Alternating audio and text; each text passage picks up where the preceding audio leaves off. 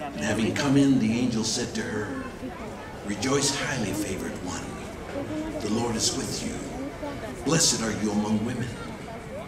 But when she saw him, she was troubled at his saying, and considered what manner of greeting this was. Then the angel said to her, Do not be afraid, Mary, for you have found favor with God. And behold, you will conceive in your womb and bring forth a son, and shall call his name Jesus.